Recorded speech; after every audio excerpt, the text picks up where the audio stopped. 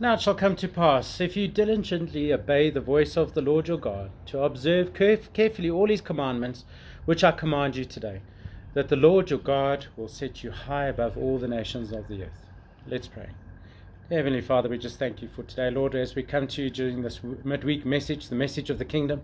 We ask that your name be glorified and we grow more intimate with you, taking a step one day at a time to get to know you more intimately, and that we may be able to, through your word and through your your living Holy Spirit, we just ask that you guide us, lead us, and bring us into the ways, the truth, and the life, and also having an impact for your kingdom through the message of the kingdom. In Jesus' name we pray. Amen. We spoke of um, Deuteronomy chapter 28, verses 1 to 58 there. And, uh, that was the opening section of our message today. Appreciating that uh, there's a message to be heard and also a message to be received. There's a purpose of predictive prophecies, which is a great kingdom dynamic that we can open, uh, open up on. And that's the promise and prophecy that are abundant in the Bible. God gives many assurances of his readiness to bless and often speaks of things he plans to do in the future. In both cases, there's always conditions. God's call to align with his will, so his word of promise can bless the obedient. In chapters uh, 28, it is a classic study of the, both of God's promises and his prophecies. Now, if we compare verses 1 and 2, verses uh, 58 and 59, we can see the blessings that are promised to the potential obedient believers and the judgment that are predicted, certainly for the disobedient. But this example and the purpose of the predictive prophecy in the Bible is to teach, to warn, to instruct towards obedience and fruitful living. It is never given to arouse curiosity or promote guesswork. In Matthew chapter 24, Jesus makes several prophecies about things to come, but tells his disciples that his purpose is only to elicit a practical response of obedient living, not guessing at the possible schedule of forthcoming events. But elsewhere, our Lord indicates that the predictive prophecies are also given to undergird our confidence in God's sovereignty and also his omniscience, that he is in control and that he does know the end from the beginning. But note how the words of John chapter 13, verses 19, and John chapter 14, verses 20, and John chapter 16, verses 4, where his triple emphasis on the purpose of his prediction occurs, that when it does come to pass, you may believe that I am he. That is God's Son, the Messiah, that is. As we go into this message of the kingdom, we appreciate that Jesus came to teach the, the ways, the truth, and the life through, through the Gospels as well as uh, through the, the, apostles and those that uh, came after him. But what about those that went before him? In the previous teachings, we've uh, learned that uh, you know Joshua was the, the Jesus of the Old Testament, as many, many others were similar in trait and in nature and in character. Joshua chapter 1, verses 9, it says, Have I not commanded you? Be strong and of good courage. Do not be afraid, nor dismayed, for the Lord your God is with you wherever you go. Sometimes it's uh, those steps of courageousness, uh, courageousness, and also uh, knowing that we can be strong in, in the Lord that will allow us to know that uh, we have an opportunity to take great strides. As it was in Joshua when he was taking them into the promised land, he gave them a hope and future that was later prophesied. Let's read a leader trait, kingdom dynamic. A leader's courage develops as the fruit of the spirit and encouragement. Moses reveals this leader role, which shapes the young leader to be Joshua. He encourages him in leading God's people into the promised land, and he encourages him as he emphasizes the seriousness of the task. Then the Lord himself encourages Joshua after Moses is dead, enjoining him not to fear but to be strong and to be courageous. The officers of Israel's army also encouraged Joshua, promising their loyalty and urging him to take the leadership. Those who would shape leaders, encourage them. Those who would follow, do the same. It's quite important that because shaping leaders for the future is based on the biblical kingdom values. And this is a great kingdom dynamic that we can take is that those who would shape leaders encourage them and those who would follow do the same. What a great kingdom dynamic. So often in this world we find people who want to kill, steal, and destroy. By putting down, by killing, stealing, and destroying. What does it say? I'm the way, the truth, and the life. No one comes to me except through the Father. The kingdom ways are higher than the earthly ways. And when we appreciate this, we can not only warn, instruct, correct, but also lead, guide, as per the Holy Spirit, being strong. Word Wealth, Strong's Concordance 2388. Be strong, courageous, valiant, manly, strengthened, established, firm, fortified, obstinate, and mighty. Generally, the word strong or strengthened defines shazak, but there is a wide range of meaning for this word, which occurs no, more than 300 times in the Old Testament. For example, to encourage, as when David encouraged himself, literally made himself strong in the Lord. And Shazak is the root of several Hebrew names, including Hezekiah, meaning strengthened by Yahweh. You know, there's controversy through stories and parables, uh, the narratives and the discourses that we can have a look at. Uh, we're going to be turning to Matthew because we can learn a little bit about what it says in the Gospels. Because when it was spoken by the prophet Isaiah, as well as the prophet Joel, as well as the prophet Malachi, we can appreciate that there's great value in what was to come.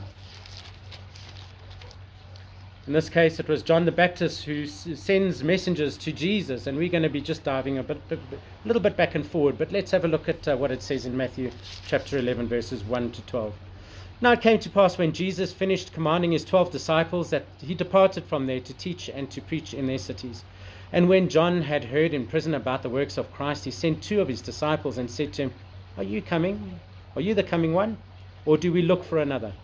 And Jesus answered and said to them, Go and tell John the things which you hear and see. The blind see, and the lame walk, and the lepers are cleansed, and the deaf hear.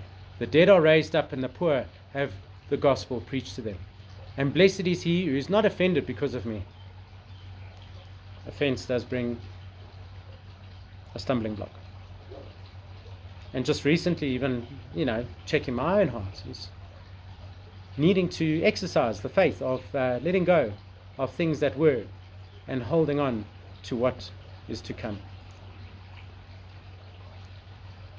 From personal experience and revelation, I can appreciate and um, share how offense can cause a delay, as it was in the wilderness when the 10 had the negative and the 2 had the positive, and uh, it was by that that the 40 year journey in the wilderness raised a new generation. But that new generation also had to learn how to not be offended and Wordwell Strong's Concordance as 4624 is to put a snare or a stumbling block in the way. The noun to which it is related refers to the bait stick of a trap. In the New Testament, uh, shang, uh, shandalizo is always used metaphorically of that which hinders right conduct or thought, hence to cause a stumble.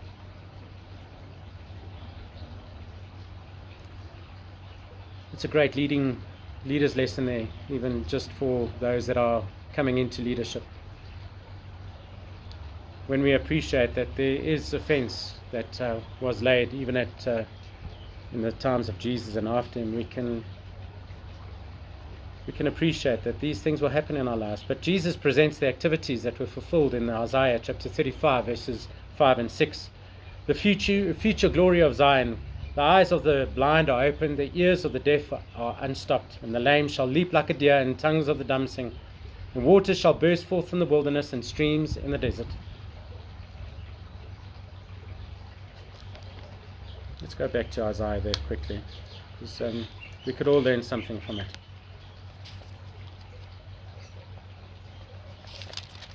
When we give thanks to God uh, for His everlasting provision. We know that when He moves, we move with Him. But as with those tribes and how devastating it was when they took on that negative report and instead of the two positive reports, having that generation die off in the wilderness because they didn't believe. We appreciate that maybe there is conflict in the kingdom, but we take it by force. And this is another kingdom dynamic that we can read. Jesus asserts the violence of the kingdom. The unique gr- uh, grammatical construction of the text does not make clear if the kingdom of God is the victim of the violence or if the kingdom advances in victory. It does so through violence, spiritual conflict, and warfare, but the context does. And Jesus' reference to the non religious style of John and the confrontive, miraculous ministry of Elijah teaches the kingdom of God makes its penetration by a kind of violent entry opposing the human status quo. It transcends the softness of the staid religious formalism um, and exceeds the pretension of the child's play. It refuses to dance to the music of society's expectation that the religious community provide either entertainment, as we played the flute, or dead uh, traditionalism we mourned. And Jesus defines the violence of his kingdom's expansion by defining the sword and the fire. He's brought a different form from the battle techniques of uh, political and military warfare. But the upheaval caused the kingdom of God is not caused by political provocation or armed advance. It is the result of God's order shaking relationships, households, cities, and nations by entry of the Holy Spirit's power working in and through people.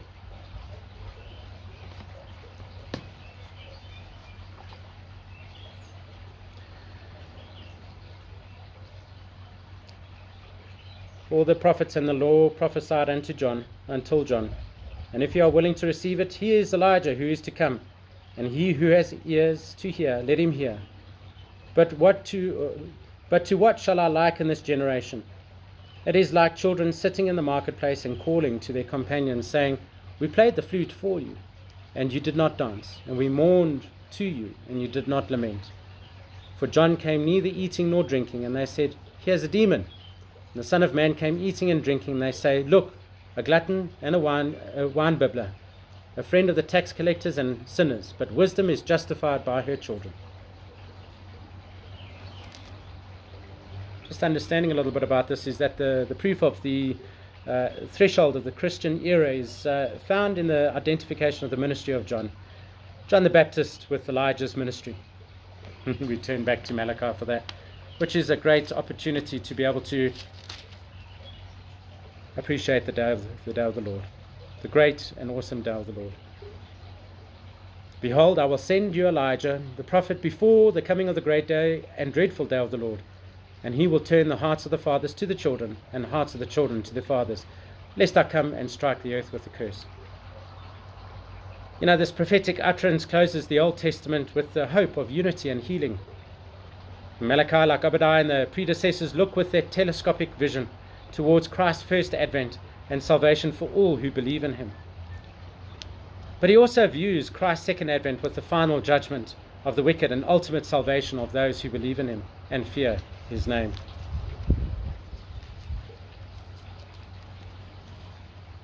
Matthew chapter 3, verses 1 to 3. In those days, John the Baptist came preaching in the wilderness of Judea and saying, Repent, for the kingdom of heaven is at hand. For this is he who was spoken of by the prophet Isaiah, saying, The voice of one crying in the wilderness, Prepare the way of the Lord, and make his path straight.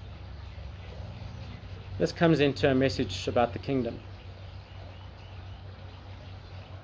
It's about the repentance. And I have just had to just do that again and again and again. As we let go of the old and hold on to the new. And just uh, repent for the forgiveness and the forgiveness that you need, the forgiveness that you haven't received. And the forgiveness that you should give. But what about the belief?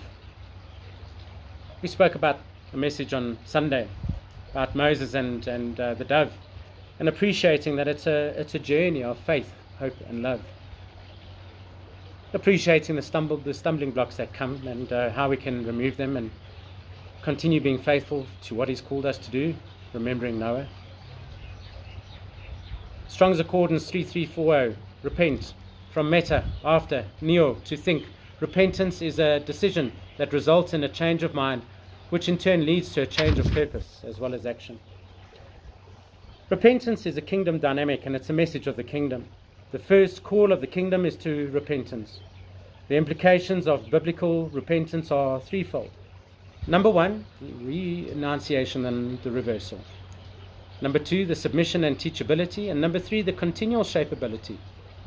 But there's no birth in the kingdom without hearing the call of salvation, announcing one's sin and turning from sin towards Christ the Savior.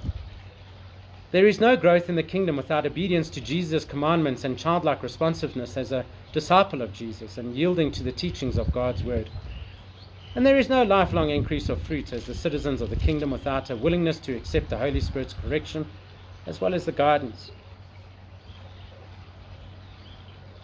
But there's a defining hope that will bring the terminology of the kingdom as we shared last week.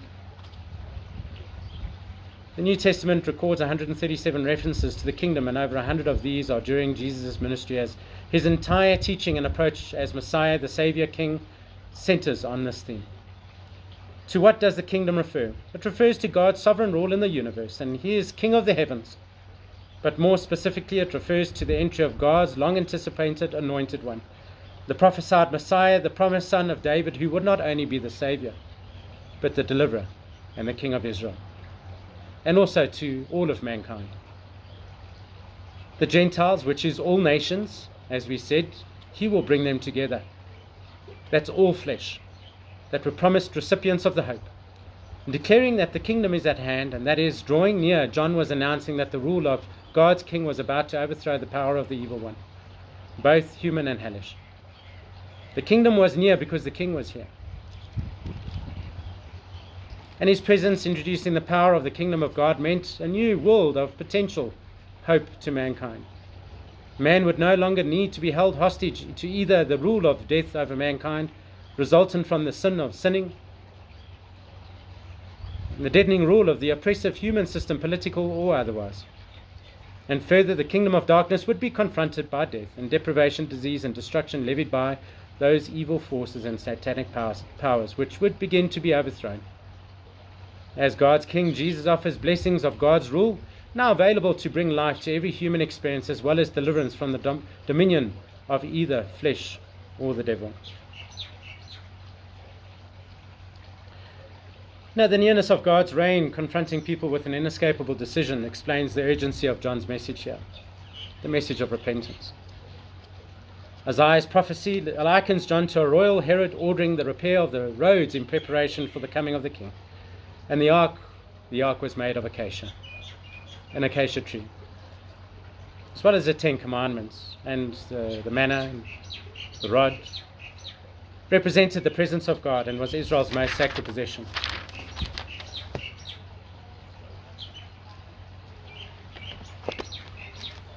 Let's just go back to Joshua chapter 3, verses 4.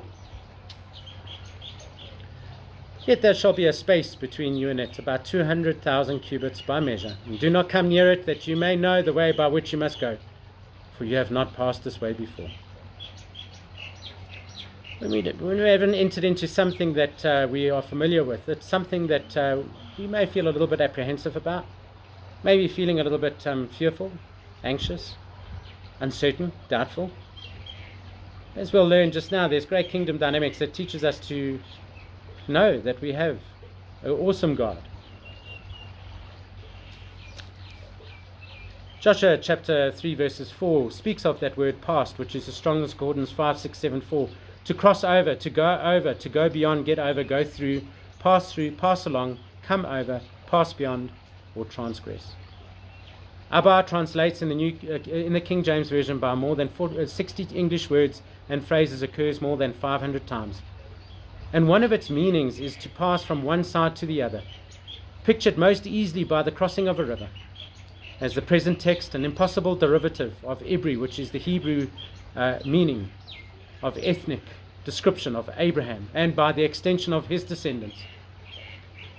In Genesis chapter 14, verses 13, and Exodus chapter 7, verses 16, and 1 Samuel chapter 29, verses 3 gives us an indication that Ibri has been regarded as the name for Eber's descendants, and Eber was the great grandson of Noah's son Shem, who was the father of the Semitic people and the direct ancestor of Abraham. In Genesis chapter 11, verses 10 to 26, the Hebrews would simply be one band or tribe of Semites. And Ibri may also refer to one who had crossed over the Euphrates from the east lands as Abraham did. That's the Euphrates River.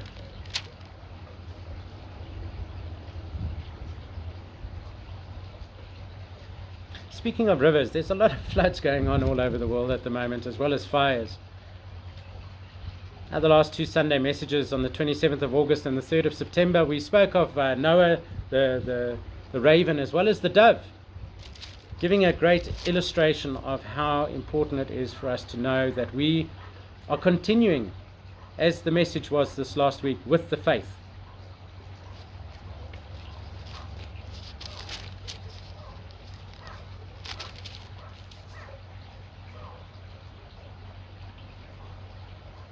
As you come back into the ark, as the dove did after that first attempt after the raven that didn't accept the mission, gives us the opportunity to come back in his rest and just allow him to be able to work in and through us and allowing that rest to happen. Noah means rest, or relief, should I say, as well as rest.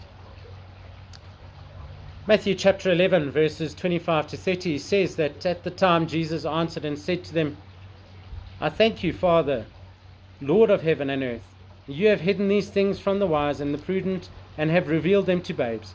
Even so, Father, for so it seems good in your sight. All things have been delivered to me by my Father, and no one knows the Son except the Father.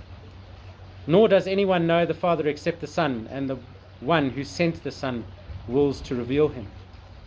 Come to me, all you who, labor and are heavy laden, and I will give you rest.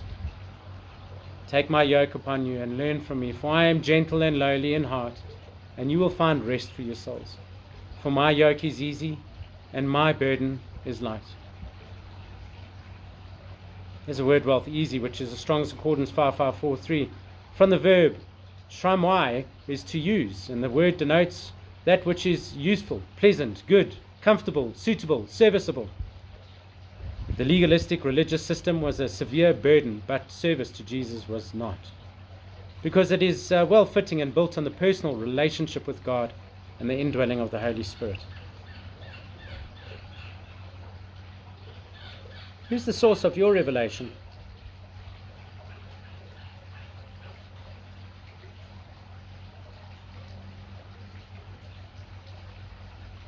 In contrast to the Jewish burdensome and legal legalism uh, ways of doing things, Jesus calls for an open, free, and loyal relationship. That's the yoke. And this enables obedience to the law's righteousness, which is the burden. Now, when Isaiah the prophet spoke, saying these things, hmm, how it's been fulfilled. Matthew chapter 12, verses 18 through to 21. Behold, my servant, whom I have chosen, my beloved, in whom my soul is well pleased, and I will put my spirit upon him, and he will declare justice to the Gentiles. He will not quarrel nor cry out, nor will anyone hear his voice in the streets. A bruised reed he will not break, a smoking flax he will not quench, till he sends forth justice to victory, and his name Gentiles will trust.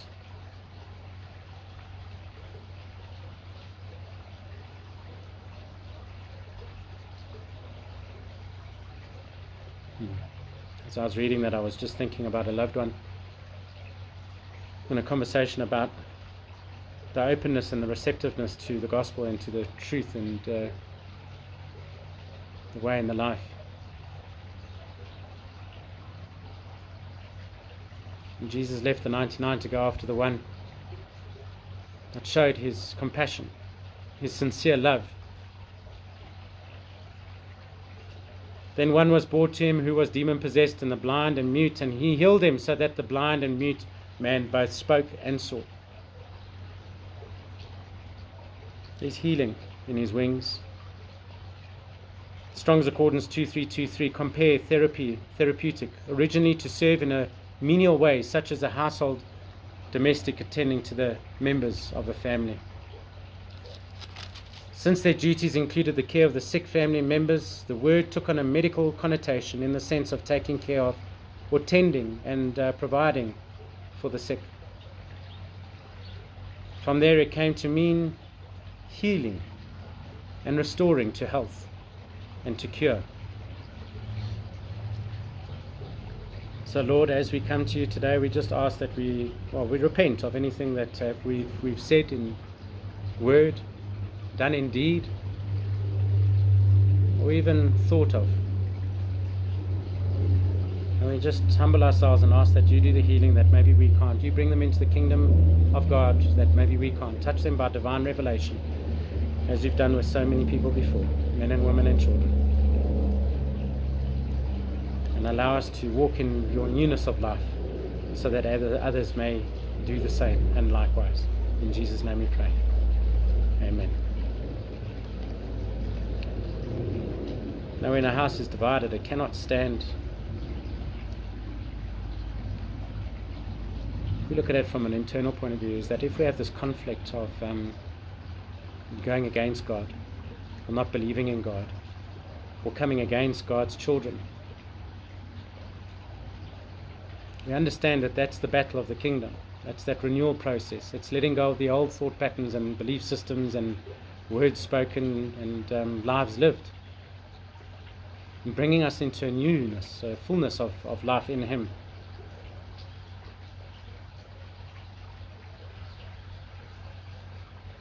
The experience, heavenly experience shared this time last year to the day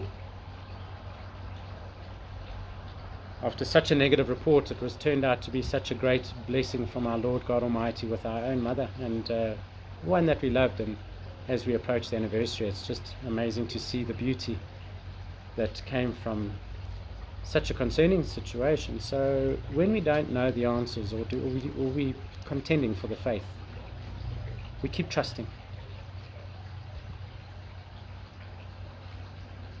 Because there's divine healing, whether it's this side of heaven or in heaven. You choose.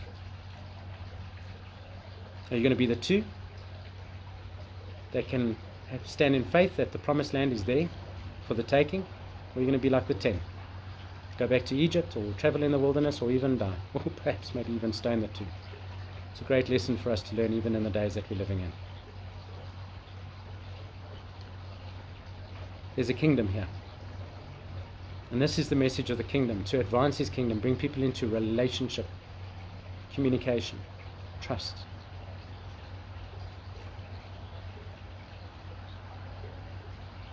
And how beautiful it is when you see just that one coming into the kingdom of God. You know, in this very dramatic encounter with the Pharisees over Jesus' um, reshaped definition of the kingdom of God shows them the absurdity of the charge of, of casting out demons by Satan's power.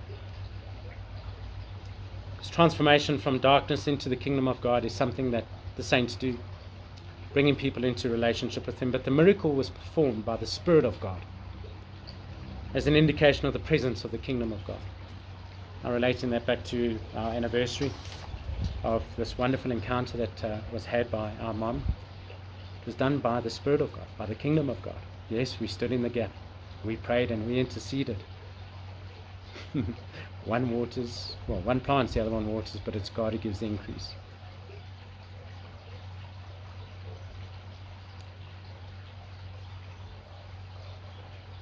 And as I say that, I'm going to just uh, sandwich this uh, beautiful message with uh, a desire of um, care, pastoral care, but also um, care for the current and future generations. Because when we come to know our Lord God Almighty, El Shaddai, His Son Jesus Christ, and the Holy Spirit,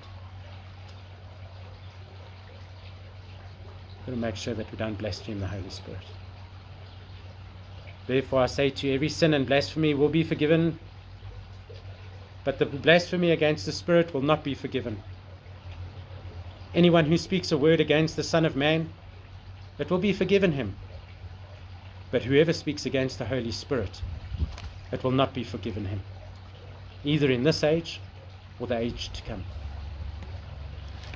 This is a very stark warning and um, saying of Jesus that he was really wanting them to come to grips of the power and the movement of the Holy Spirit.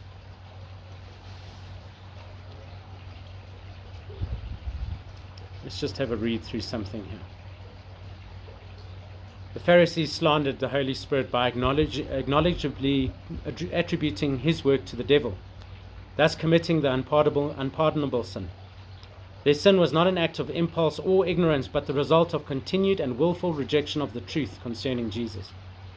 It was a sign against spiritual knowledge, for they had ample evidence of the truth from the words and deeds of Jesus. But in deliberately choosing to insult the Holy Spirit, they forfeited his ministry in their lives and will not be forgiven. The analogy demonstrates that the blasphemy was not merely an utterance of the lips, but an expression of the character. So when you go against the promptings and the guidance and the leadings of the Holy Spirit, especially blaspheming it, saying, as the Pharisees did, attributing it to the devil, it will not be forgiven. The analogy de- demonstrates that the blasphemy was not merely an utterance of the lips, but an expression of the character. This an- analogy demonstrates that the blasphemy was not merely an utterance but of the lips, but an expression of character. A tree is known by its fruits, and sometimes uh, the earthly realm expects the fruits to be physical material. But what about the fruits of the Spirit? You know, the scribes and the Pharisees, they asked for a sign.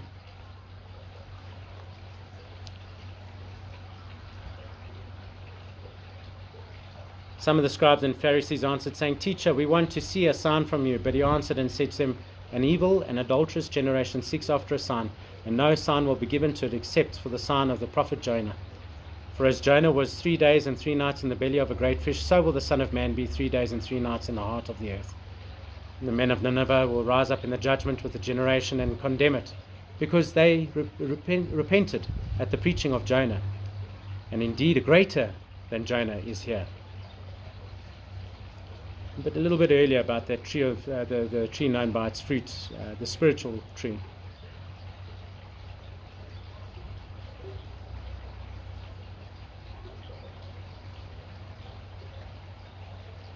Justified. Strong's Concordance 1344, legal term signifying to acquit, declare righteous, to show to be righteous. In this passage, Jesus refers to the day of judgment as the day of his determining condemnation or justification based on our heart's response to the Spirit.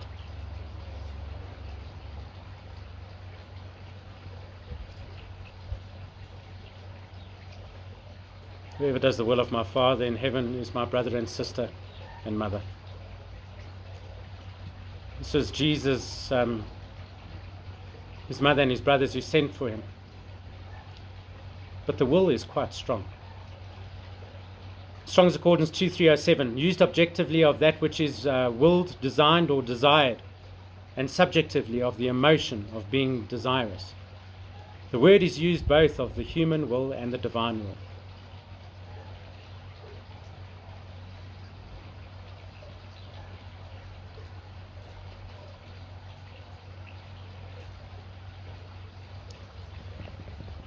I want to just touch on something that uh, happened about a year and a half ago, two years ago. Uh, brothers and sisters who do the will of my Father in heaven is my brother and sister and mother. We have spiritual mothers, we have spiritual fathers, we have spiritual brothers and spiritual sisters. And you know, I'm using an example of our own gardener a year and a half ago. He had just born a child. And through this uh, new birth in the physical, it was recognized that um, this little child had um, a little uh, string, not only wrapped around its arm, but wrapped around its, its waist. Um, and when I found out a little bit more about it, it, uh, it, it, presented itself as something that was believed or is believed by certain um, groups or individuals uh, that brings some sort of um, whether it be protection or something on the lines of um, ancestral stuff. And this poor little child had an illness that um, they didn't know what was going on, and it uh, quite concerning. He was taken to hospital, removed, but it came back just as much, maybe even stronger. And I just, um, I just uh, asked if, if it was um, what was the reason for that string being put over or around the waist and, and, and, and the arm. And they told us that it was uh, part of the Sangoma practice and um, that's uh, the spiritual ancestry belief system. And uh, I, I, I, just uh, asked the Lord what to do, how to handle the situation, and uh, the response was to lovingly just guide them into maybe something that might be causing that um, illness, and they they had it seen to, uh, you know, um, and I think the message here is that we've got to be careful what we believe in in terms of superstitions or things that we put around ourselves or um, things that may have a spiritual connotation that maybe we're not aware of. Especially for the, the beautiful little children of God that are coming into this world, as well as His children, both young and old. So, anyway, not only that occasion, but other occasions when we've gone to go pray in the hospitals, we've seen similar things and we've seen great healing of, of, of those that have uh, removed them and given their lives to the Lord and uh, have been healed. Great miraculous things. So, what I'm trying to say is that some things are, are unknowingly, you know, given to us, and that may have a spiritual impact, uh, whether for good or bad. You know, it's always advisable to have a look into the the, the, the, the context of, of the meaning as to why people would, um, you know, what's the meaning behind uh, having a physical representation, in this case of the gardener's son who was ill and had this great lump that kept on growing back. And uh, since then we've prayed about it and, you know, it has been healed. Um, but my encouragement for all of us is just uh, be mindful of what we put into our, on, on our bodies, into our bodies, into our minds and into our spirits. Another testimony was just speaking to someone about a deliverance that they're going through. And we know that deliverance is a lifetime process, but as the Holy Spirit uh, leads and guides and, and uh, gives us some sort of uh, fullness, we want to keep connected to the vine because we don't want other spirits to be coming in and causing um, further concern. Hence the reason why when you are baptized in water and Holy Spirit, we are washed and we are protected. No weapon formed against you shall prosper. Anyway, Matthew chapter 12, verses 40, uh, 43 to 45. When an unclean spirit goes out of a man, he goes through dry places seeking rest and finding none. Then he says, I will return to my house from which I came. And when he comes, he finds an empty, swept, and put in order. Then he goes and takes with him seven other spirits more wicked than himself. And they enter and dwell there. And the last state of the man is worse than the first state. So shall it be with the wicked generation.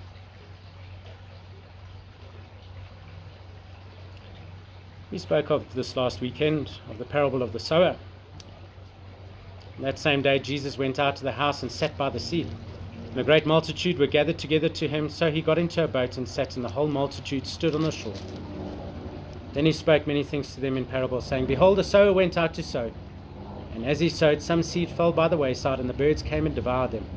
And some fell in the stony places, where they did not have much earth. And they immediately sprang up because they had no depth of earth.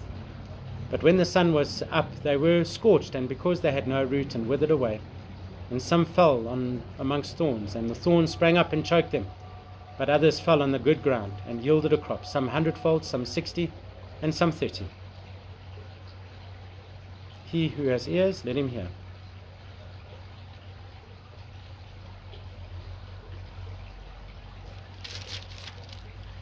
There's a present and a future kingdom, and this may help us appreciate the value of the kingdom as we continue to be cleansed from the inside out and uh, be renewed and refreshed. And it's not a once off thing, it's a continuous um, exercise, day by day, minute by minute, hour by hour, week by week, month by month, year by year. This is the message of the kingdom. It's another kingdom dynamic. And Jesus introduces the parables as a means to teaching the kingdom truths of the 40 parables Jesus gave he made direct references to the kingdom in 19. These stories clearly relate to different time frames. Some impact the present teaching, the need for kingdom people to have hearing ears, the breadth of the kingdom of spread, and the cost of the kingdom's acquisition. Others relate to the future, the teaching, the final disposition of the fruit of the adversary's hindrance, and the final disposition of the mixed ingathering from the kingdom outreach. In mixing these two aspects of the kingdom, Jesus helps us appreciate the kingdoms as both present and prospective, both now and then. The message of the kingdom is two edged and relates to two frames of time. First, God in Christ is now recovering man from his double loss relationship with God and of rulership under God. And he promised that at man's fall, illustrated in it the patriarchs and Israel's history, and now the king has come to begin fully bringing it about. The kingdom is being realized presently in partial and personal ways as it spreads through the earth by the Holy Spirit's power in the church. Second, the kingdom will be realized finally in consummate and conclusive ways only at the, turn of Je- at the return of Jesus Christ. We will experience his triumph now, in part, will then be fully manifested. This complete view of all the understandings and applying the principle of the kingdom come without falling into the confusion of expecting now what the Bible says will only happen then.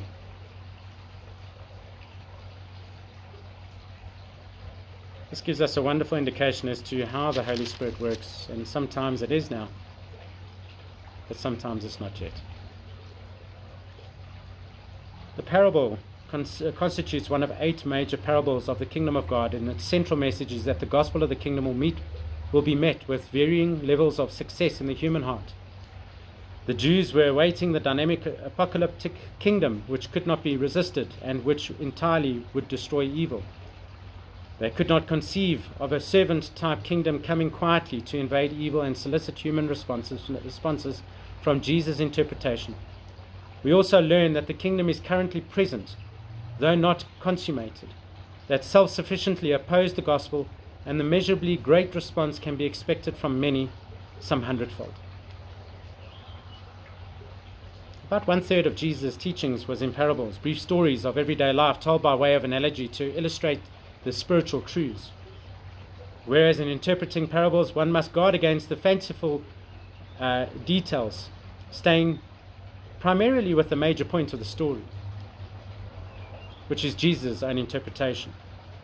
It demonstrates that the details of the parable can indeed hold symbolic significance and application. Determining significance can be at times difficult and maybe abused. Yet we should not go or rule out any such uh, leadings of the same indwelling spirit that first inspired the teachings. And the general approach would be to find the primary point using grammatical, historical principles and staying consistent with the original purpose and message of the parable. Then move on to the second point of application, using the whole scriptures as revelation. That's to guide the interpretation of scriptures.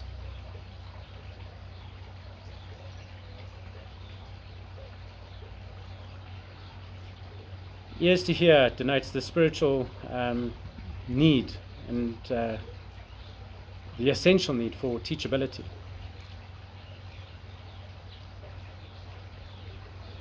The hearing heart is to be present uh, if the seed or the kingdom truth is to be received and to become fruitful.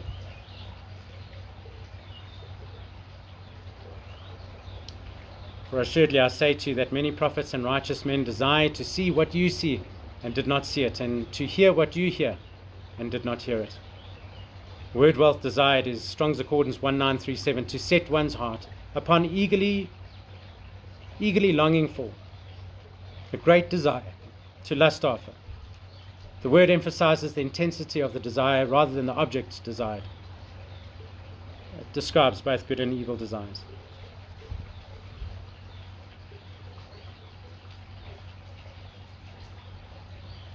You know that the disciples were privileged to see and hear the things not given to God's servants in the Old Testament.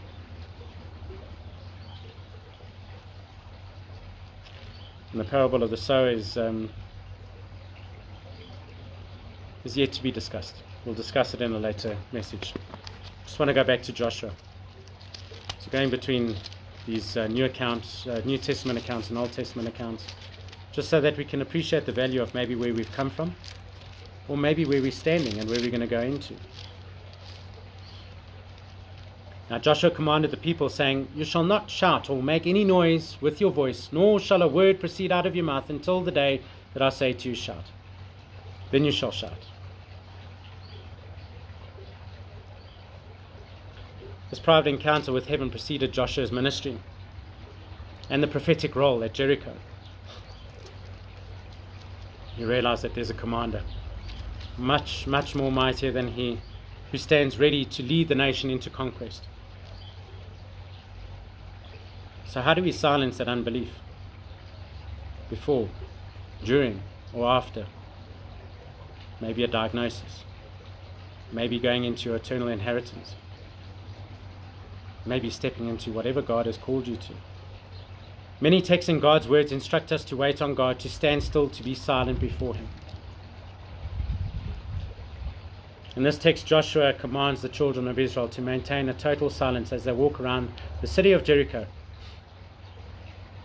The memory that Israel's 40 year punishment in the wilderness was a result of the people's murmuring in unbelief was doubtful and doubtless, sorry, doubtless in Joshua's mind. At the time, the spies had returned with a report motivated by what man sees without the Holy Spirit given vision. The unbelief that they could take the land, that they could not take the land, sealed their fate in the wilderness. Now, with the lessons of history in mind, Joshua's directive to keep silent is a precaution that teaches us when facing great challenges. Do not uh, permit your lips to speak unbelieving words and prohibit demoralizing speech from your lips. Words can bind up or set free. Hence the order to silence, and later they would see the salvation of the Lord pursuant upon their shout of triumph. Now, we cannot help what we see or hear, but our refusal to speak doubt and fear will keep our hearts more inclined to wait on what God can do rather than what we cannot or what we may hear or see.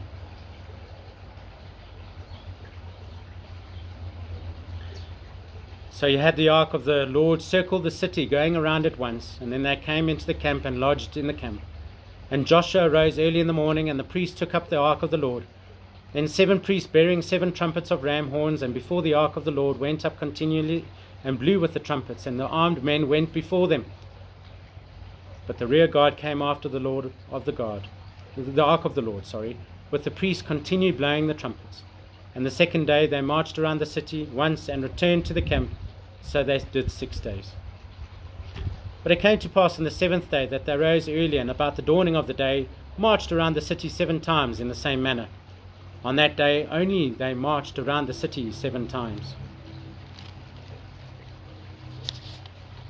So, how can we silence unbelief in the diagnosis or the stepping into the eternal inheritance, the promised land? Appreciating the, the value and the lessons of the Lord God Almighty. The commander of the army of the Lord gives us that great hope and great future. Just worshipping the other day, I was just uh, touched by the Holy Spirit, and just uh, as a result, again, last happened in April when there was a worship event. Led by the Holy Spirit to take off the shoes because where we stand sometimes in worship is holy. And we need to appreciate that. It came to pass when Joshua was by Jericho that he lifted his eyes and looked, and behold, a man stood opposite him with his sword drawn in his hand. And Joshua went to him and said to him, Are you for us, or you for our adversaries? So he said, No, but I am, as the commander of the army of the Lord, I have now come. So Joshua fell on his face to the earth and worshipped and said to him, What does my Lord say to his servant? Then the commander of the Lord's army said to Joshua, Take your sandals off your foot, for the place where you stand is holy. So Joshua did so. it's amazing how the Holy Spirit speaks to us, and then we come back and we find it in Scripture. Similar example of uh, testimony of um, what I shared on Sunday about um, angels and how the ministering angels can bring healing, but it needs to be the Holy Spirit that's bringing the healing so that it can be based on the foundations of the, the truth, the way, and the life. know, God's covenantal strategy in this um, in this context had no apparent results, but it also was a test of their obedience and their trust.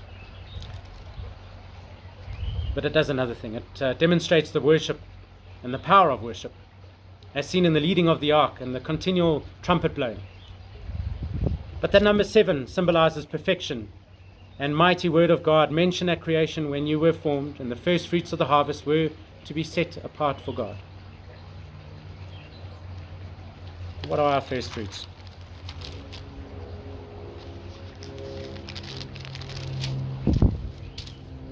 Now, after John was put in prison, Jesus came to Galilee preaching in the gospel of the kingdom of God and saying, The time is fulfilled and the kingdom of God is at hand. Repent. Repent repent. and believe the gospel. This is um, the gospel of the kingdom. It's the message of the kingdom. The Synoptic Gospels and Acts make at least 20 direct references to the preaching of the gospel of kingdom from John the Baptist throughout Jesus' ministry and the disciples' ministry during Jesus' ministry, and throughout Acts as well. And Jesus prophesied the same message shall be taken to the ends of the world, commissioning his disciples to do this and promising his Holy Spirit's power for the task. It is clear that the early church proclaimed the same message that Jesus uh, preached that is, the gospel of the kingdom of God. And also, they experienced the same confirming evidence that were present in his ministry. There is only one gospel. Jesus preached it, transmit, uh, transmitted it to his disciples, and has committed it to his church. But Paul warned against ever receiving any other gospel. Any other may either be a message of outright error or an argument for a diluted message, devoid of power through nominal Christian. Jude, uh, 3 urges us to always contend for the original, the faith which was once for all delivered to the saints. So to hold to the full gospel of the kingdom, and well, we'll do well to expect the Lord to confirm the word that was the sign of his promise. About that Holy Spirit how important it is for us to be obedient and guiding and leading through the Holy Spirit guidance, through the, the baptism of water and Holy Spirit, can't be understood by those who haven't yet come into that position and relationship. But the Holy Spirit is the ministry of the kingdom, and I just shared with the loving brother in Christ and uh, shared how the prompting, the leading, the guiding of the Holy Spirit is vital for us to be able to stay in step with Him. Jesus' ministry did not begin until he received his anointing as Messiah, the empowering that came through the descent of the Holy Spirit upon him. Though conceived and born by the Spirit's power and the sinless, his whole lifetime he did not attempt ministry without the Spirit's power. He insisted John baptized him, not for repentance, but because he knew the Holy Spirit would come upon him at that time. That's that dove that I made reference to in our message on Sunday the dove that Noah sent versus the dove that was put on Jesus' shoulder. And from that time, he was led by the Spirit, moved into his ministry, declaring the presence of God's kingdom and manifesting its miracles, signs, and wonders. But the pathway points each believer to the need for power, and if his kingdom ministry is being, to be advanced through us, his church, his church, his body, his church. Like him, we too are born of the Spirit and though obviously our spiritual birth is not as his biological virgin birth, the point remains. The spiritual rebirth saves, but spiritual endowment is needed for ministering in the kingdom power. And similarly, our justification in Christ, being declared sinless, does not qualify for kingdom power in ministry. In his carnation person, Jesus and his perfection exceeded ours in every single way, yet Jesus still acknowledged the need for his own receiving of power from the Holy Spirit to pursue his ministry. So, what more needs to be said? Let each of us personally hear his command receive the Holy Spirit. So, Lord, we just ask that whoever hears this message will receive the Holy Spirit. Never blaspheming the Holy Spirit, but walking in your ways, your truth, and your life. In Jesus' name we pray. Amen. Let's go back to Joshua.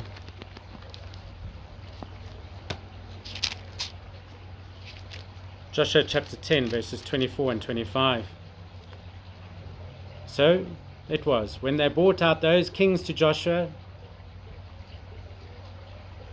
and that Joshua called for all the men of Israel and said to the captains of the men of war who went with him, Come near, put your feet on the necks of those kings. And they drew near and put their feet on their necks. Then Joshua said to him, Do not be afraid, nor be dismayed. Be strong and of good courage, for thus the Lord will do to all your enemies against whom you fight. This gives us the strength and the courage to face our enemy. It's part of our deliverance. And um, as I mentioned before, that could be a diagnosis, it could be a, a calling into what God has, has uh, led you to. The average believer tends to doubt or fear the prospect of receiving dominion over the dark powers of the enemy. The lesson here in Joshua is admonishing his captains to place their feet on the necks of their evil kings that they had conquered demonstrates our privilege through Christ's complete victory over the devil. As members of his body, we are seated with him, all evil powers underfoot. We can overcome the strong man, for Jesus is our commander, who has vanquished the enemy and promises continuous victory. And Christ has triumphed over those, all the power of the enemy, and given the followers of authority over dark powers. Commission all who believe to enter into this spiritual battle, strong in the Lord and in the power of his might. So, with these beautiful teachings, not only through Joshua but through the Gospels, we can take great value in how we can continue walking in His way, His truth, His life.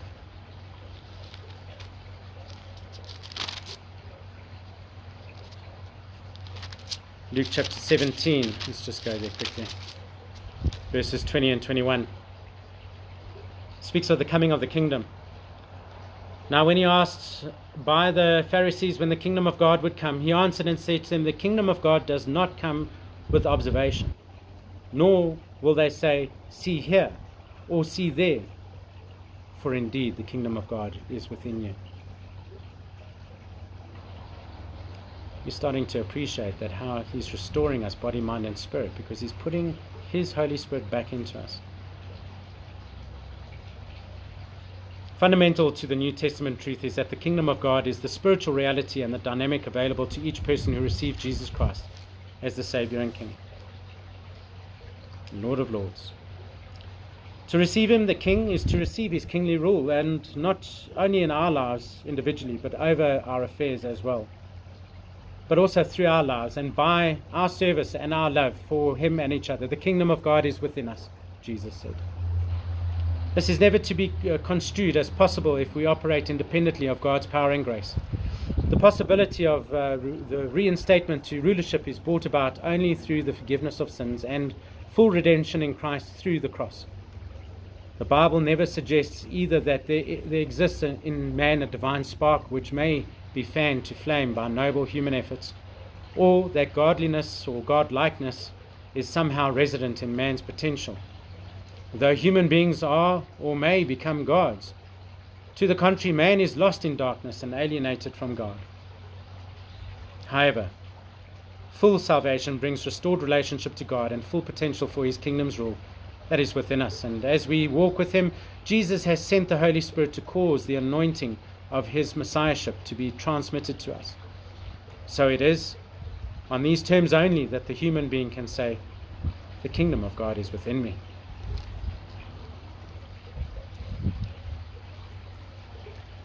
Then he said to his disciples, The day will come when you will desire to see one of these days the Son of Man, and you will not see it. And they will say to you, Look here, or look there, and do not go after them or follow them. For as lightning flashes out of one part of heaven and shines on the other part under heaven, so also the Son of Man will be in his day. But first he must suffer many things and be rejected by this generation, and as it was in the days of Noah, so it will be in the days of the Son of Man. They ate, drank, married wives, and given into marriage until the day of Noah entered the ark, and the flood came and destroyed them all. Likewise, it will also, likewise, as it was also in the days of Lot.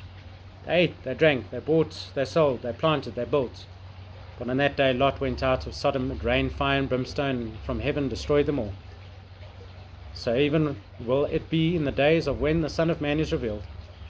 In that day, he who is on the housetop and his goods are in the house, let him not come down to take them away, and likewise the one who is in the field, let him not turn back. Now remember Lot's wife.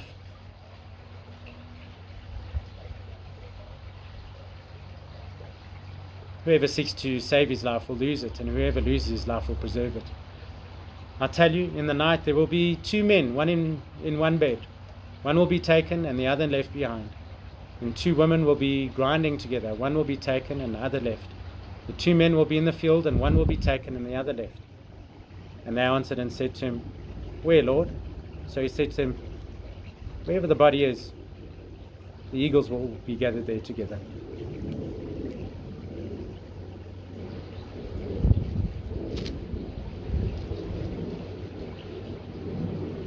Snatched heavenwards. Snatched heavenwards as the bird snatches its prey. Speaking of the rapture of the church. And who is this church? Who is his body?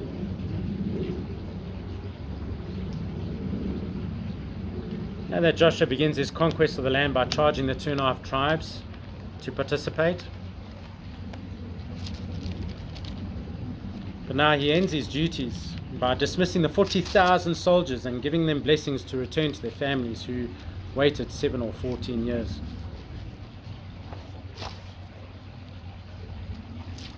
Want to go into something here. Hold on a sec. Um, let's go. Possession. Strong's Concordance 272. Something obtained, seized, or held. It usually refers to the land of Israel, or a portion of it, which is to be held forever by Jacob's descendants.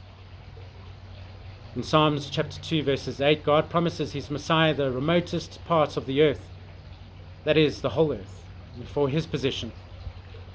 The related verb is from achaz, meaning to seize, acquire, lay hold of, to get, obtain, catch, take possession, or to grasp. This word is frequently translated to take hold of. That altar by the Jordan was built with um, sacrificial worship, remaining covenantal and central to the tabernacle. Otherwise, elsewhere, it may have brought about the dangerously uh, worship pagan practices.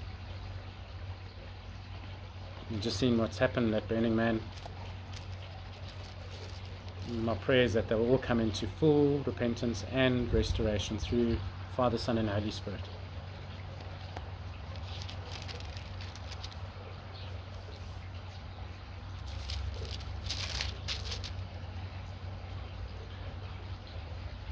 Thus says the whole congregation of the Lord. What treachery is there that you have committed against the God of Israel? to turn away this day from following your Lord, and in the day you have built for yourselves an altar, that you might rebel against the Lord. A congregation is a crowd, assembly, a swarm, a family, a multitude, a com- company. And edi is from the verb yad, to appoint, thus implying a group assembled together by appointment or acting together. The word occurs more than 140 times in the Old Testament, most, of, most often references to the congregation, the congregation of Israel.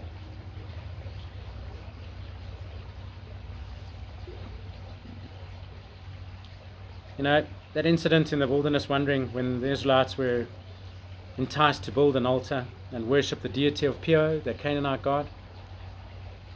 And as a result, God's wrath, 24,000 Israelites died on a, uh, in an epidemic.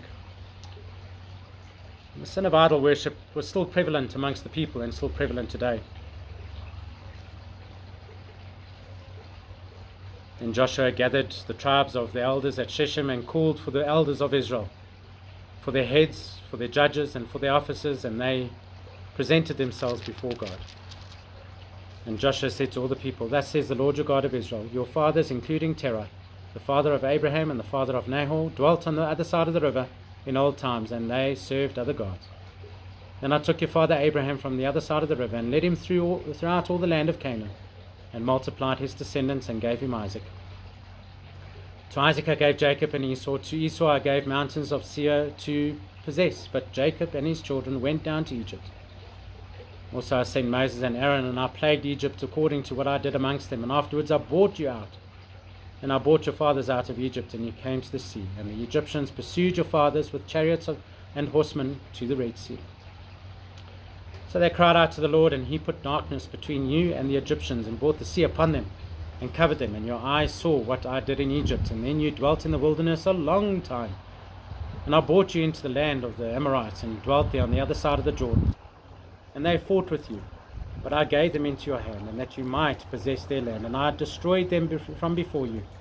Then Balak the son of Zippor, the, the king of Zoab, arose to make war against Israel, and sent and called Balaam the son of Beor to curse you.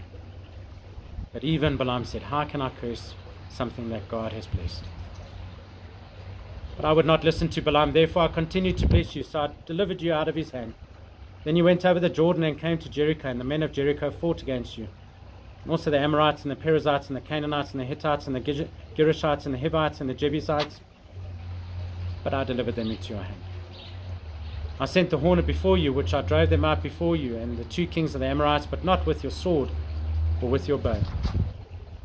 I've given you a land for which you did not labor, and cities which you did not build, and you dwell in them, and you eat of the vineyards and olive groves which you did not plant. Now therefore fear the Lord.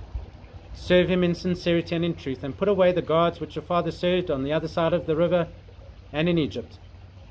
Serve the Lord.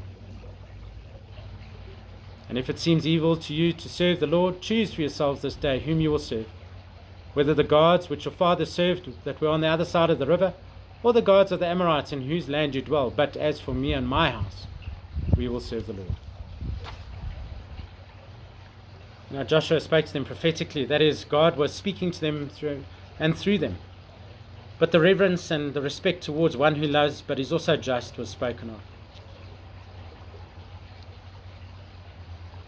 We've got to give our allegiance to God.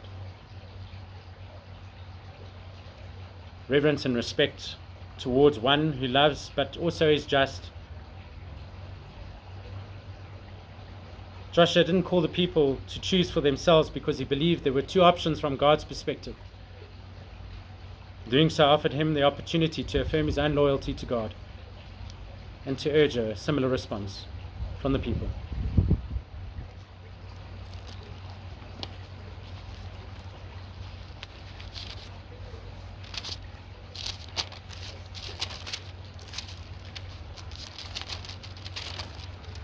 John chapter 3, verses 1 to 5 speaks of the new birth. This gives us an opportunity once we've crossed over. It's like that triple baptism Red Sea, Jordan crossing, and as Jesus was baptized with the dove that landed on his shoulder, remembering the, the, the dove that, that came back into the ark in Noah. Let him come back into your life. There was a man of the Pharisees named Nicodemus, a ruler of the Jews. This man came to Jesus by night and said to him, Rabbi, we know that you are a teacher that came from God, and no one can do these things and the signs that you do unless God is with him. And Jesus answered and said to him, Most assuredly I say to you, unless one is born again, he cannot see the kingdom of God. And Nicodemus said to him, How can a man be born again when he is old? Can he enter a second time into his mother, mother's womb and to be born? And Jesus answered, Most assuredly I say to you, unless one is born of water and of spirit, he cannot enter the kingdom of God. There's an invite for a new birth. This is the message of the kingdom. Upon repentance, a new order of life opens to the believer in Jesus Christ. And Jesus used the figure of the new birth to, dramatically indicate three things. Without new birth, there is no life and no relationship with God. In new birth, new perspective comes as we see the kingdom of God. And God's word becomes clear, and the Holy Spirit's works and wonders are believed and experienced, as well as faith being alive. And through the new birth, we are introduced literally to enter into a new realm where God's new kingdom can be realized. The new birth is more simply being saved. It's a requalifying experience, opening up the possibilities of our whole beings to the supernatural dimensions of life and fitting us for a beginning in God's kingdom order. That which is born of flesh is flesh, and that which is born of spirit is spirit. And do not marvel that I say to you, You must be born again. The wind blows wherever it wishes, and you hear the sound of it, but cannot tell where it is, comes from and where it goes. So is everyone who is born of the Spirit. Nicodemus answered and said to him, How can these things be? And Jesus answered and said to him, Are you the teacher of Israel, and do not know these things? Most assuredly I say to you, We speak what we know and testify what we have seen, and you do not receive our witness. If I told you earthly things and you do not believe, how will you believe if I tell you heavenly things? No one has ascended into heaven but he who comes down from heaven, that is, the Son of Man who is in heaven. And as Moses lifted up the serpent in the wilderness, so even must the Son of Man be lifted up, that whoever believes in him should not perish but have eternal life. For God so loved the world that he gave his only begotten Son, that whoever believes in him should not perish but have everlasting life. For God did not send his Son into the world to condemn the world, but that the world through him might be saved. And he who believes in him is not condemned, But he who does not believe is condemned already because he has not believed in the name of the only begotten Son of God. And this is the uh, condemnation that the light has come into the world, and men love the darkness rather than the light, because of their deeds that were evil. For every practice, everyone practicing evil hates the light, and does not come to the light, lest his deeds should be exposed. But he who does come to the truth, he comes to the light, and she comes to the light, that their deeds may be clearly seen, that they have been done in God.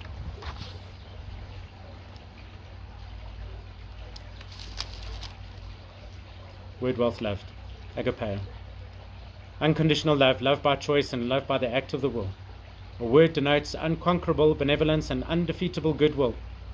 An agapeo will never seek anything but the highest good for fellow mankind. An agapeo, which is the verb, and agape the noun, are the words for God's unconditional love, and it uh, does not need a chemistry, an affinity, or even a feeling. An agapeo is a word that exclusively belongs to the Christian community. It is a love virtually known outside the New Testament. And when things are done in God, we can appreciate that that's the energy. The energy to toil, to be working, accomplish something, carry a trade, produce something, engage in toil, perform to do business.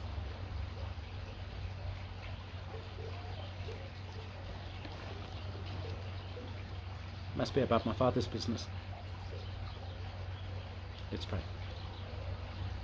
Heavenly Father, we thank you for today, Lord. We just ask that this message penetrate the hearts, the minds, and the spirits of those who hear this message. And also by your Holy Spirit, Ruach word, even those who don't hear this message, we just pray and intercede and know and trust that you will do what we can't do. Help us to speak life into the circumstances of our loved ones and our situations and maybe even our health. Because this is the message of the kingdom. This is the message of the gospel. In Jesus' name we pray. Amen. See you Sunday. Next message on knowing the dove and hope.